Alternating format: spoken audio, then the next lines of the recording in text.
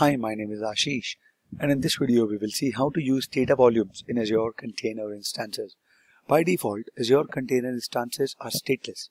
If the container crashes or stops, all of its state is lost. To persist state beyond the lifetime of the container, we must mount a volume for an external store.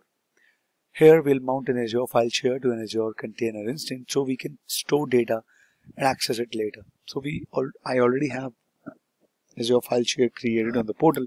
So let me just quickly log on to the portal and take it from there. So if I have to show you the file share, I have this storage account and I would use this file share.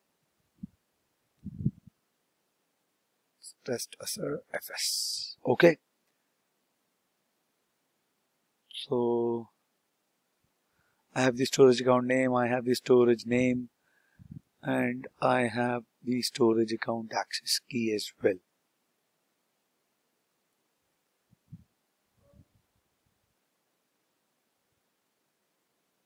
So I will deploy a container and mount the file share on it. So I'm going to do AZ container create. This is the resource group, the name, image, the location would be East US port 80 IP address public. This is the name of my storage account. This is the key. This is the file share and this is the place from which you will have to mount the file share. Enter on the file share of the container.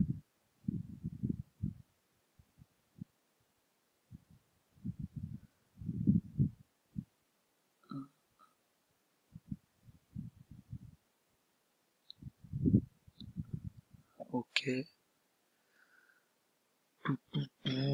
Let me check the file share name.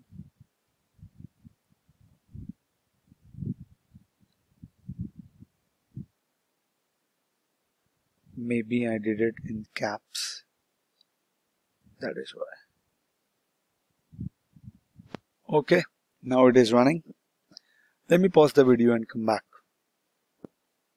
And now if we will do this AZ storage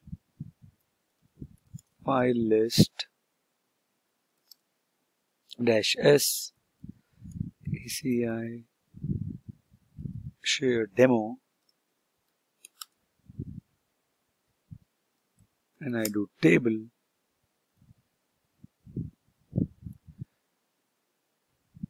So Okay.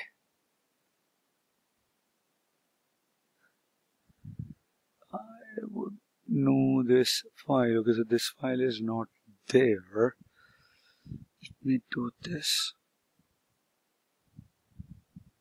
This is done. So let me cancel this, refresh this.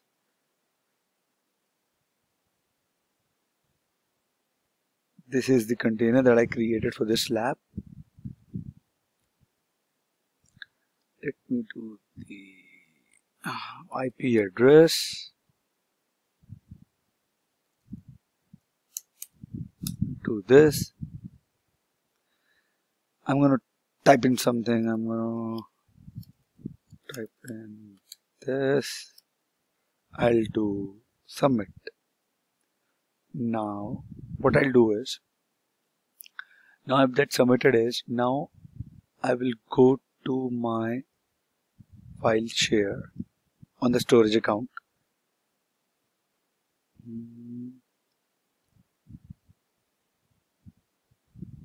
This is my file share. You see this file right? You click on it and you download this file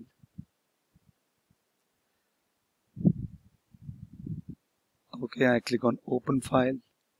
See Azure Cloud Share so this is the file that got created when I uh, entered submitted the text here. So in here when I was doing cats dogs voting the app this container did not have volume attached to store my data, persistent data. So when I do reset, I, I didn't have anything to go and look back, okay, these were the records that I entered. This container that I created, I had the persistent volume on the Azure file share as mounted onto this container. So now when I type in, let's say, Azure Cloud Share, again, I submit this. This has been submitted. I go here. I cancel this. I hit refresh. I see another file, right? I click on it. I download it.